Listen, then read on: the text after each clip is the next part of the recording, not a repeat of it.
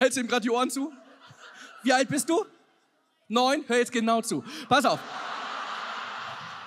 Wir wissen alle, ja, jetzt tu nicht so, als wär's in der Schule anders. In welche Klasse gehst du? Dritte. Wie heißt du?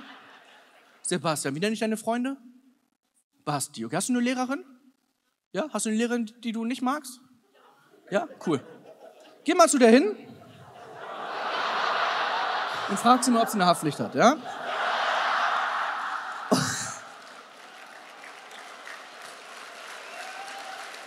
Bist du der Vater? Das ist so geil, weil ich habe gedacht, so, dass der Vater so, so, Dicker, hör auf, und er ist richtig stolz, das ist mein Junge, das ist mein Junge. Frag sie mal, wenn sie sagt, wieso fragst du mich, Sebastian, dann kannst du sagen, sie haben mir gerade eine Beule in die Hose geknallt. Ey, die rufen zu Hause an, aber deine Eltern wissen ja Bescheid. Das heißt, das heißt ihr könnt sagen, oh, was ist jetzt los? Haben sie eine Haftpflicht oder nicht? Ja. Sie schulden uns eine Hose. Ja, das wäre so mega. Das wäre, bitte mach das. Bitte, Basti, scheiß auf deine Eltern, hör mir zu. Mach mal Lärm für Basti, ey.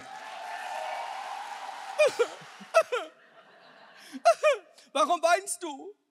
Ich bin der Basti, guck mal, wie ich heule. Ich sag zu meiner Lehrerin, guck mal meine Beule. Ja, aber Basti, du musst das wirklich lassen. Das ist wirklich nur ein Scherz.